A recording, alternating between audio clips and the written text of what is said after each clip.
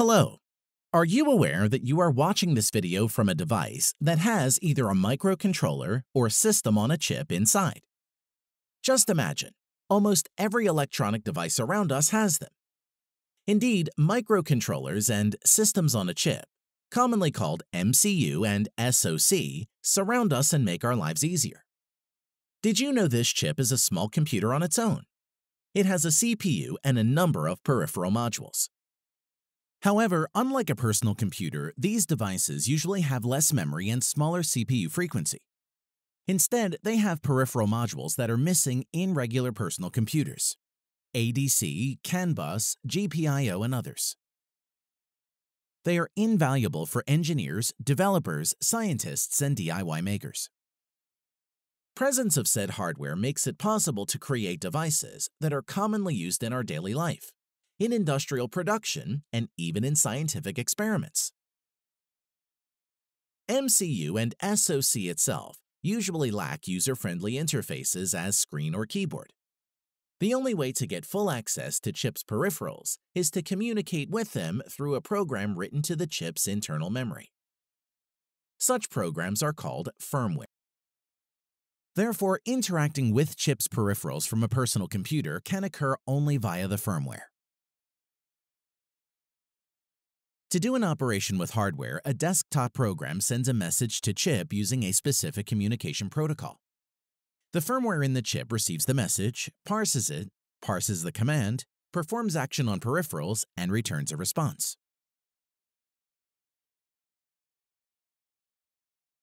Usually, this action is a function call of peripheral driver from the software development kit, called SDK, provided by semiconductor chip vendors or third parties. This is a standard approach for interaction between computer and external chip. Unfortunately, it is a time-consuming and labor-intensive process that requires firmware development and writing a load of boilerplate code to parse and transport the messages, and also update the firmware. In addition, the firmware works asynchronously relative to the desktop program. Such a pair of applications is difficult to develop, debug, test, and maintain. But fortunately, there is another approach. What if a desktop application could remotely perform the operations with chip's peripherals as if they were a part of our computer? This would be very interesting we could avoid firmware development and writing boilerplate code. This leads to an overall reduction in both man-hours and codebase. Now there is only a monolithic desktop application which is easy to develop, debug, test, and support. It is not a dream anymore. It has already become possible thanks to the REMCU project. The REMCU library provides the same API as the peripheral drivers of the SDK. So a program running on a personal computer can just call the API endpoint and REMCU Lib will call the driver function with the parameters you specify on the remote chip and return the results of the function. This removes the difference between interacting with peripheral modules directly from firmware code or desktop application an application program that uses the REMCU library gets the same kind of access to all the chip's peripherals as firmware inside the chip would have. You can launch and run examples from the SDK on your computer. On top of that, you can get firmware code that uses the vendor drivers and run it on your computer. Also, it's possible to use SDK's header files there. Thanks to that, you don't need to learn new tools you can just use the SDK's documentation. Actually, it works. Check out our video tutorials and examples on GitHub.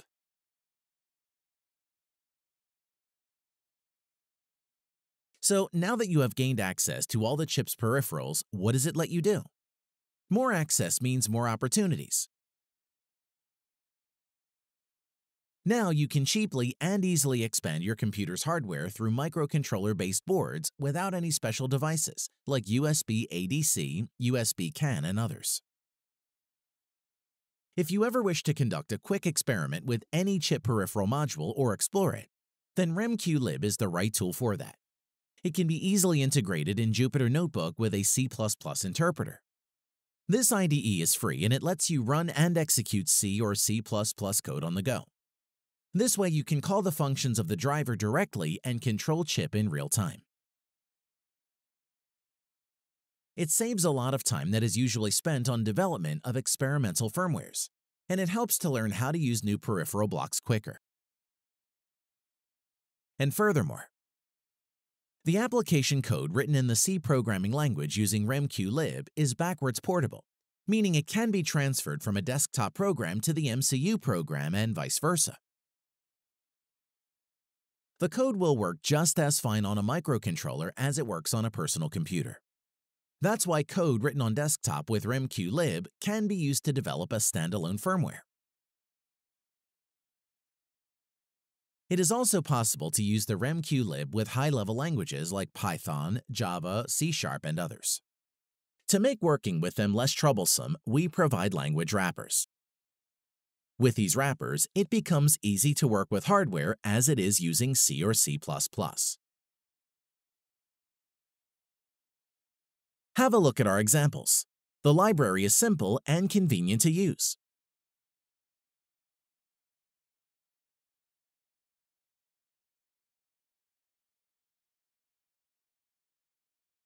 Interpreted languages like Python provide the ability to write scripts, which make it even easier to test hardware. The test scripts are useful in testing both simple board elements and complex chips with digital interfaces. Analog and digital signal generation, capture, and analysis is very easy with test scripts. Another possible use case of test scripts is to check external communication interfaces of microcontroller boards. The test scripts are a combination of test firmware and test desktop applications. On top of that, scripts are easier to develop, debug, and maintain than compiled programs and they are easier to integrate into hardware continuous integration. The REMCU library is a cross-platform library, and it works on all of the most common desktop operating systems. It can also be ported to embedded systems. Very often, embedded platforms have a limited number of peripherals which is commonly expanded using external MCU or SoC. But the REMCU library makes it possible to easily expand the limited number of peripherals of an embedded computer without having to develop firmware, kernel drivers, and other additional software.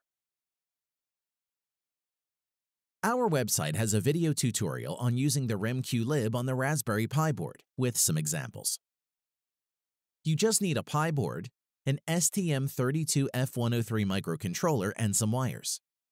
With a REMCU Lib, the Raspberry Pi will get access to all peripherals of the microcontroller.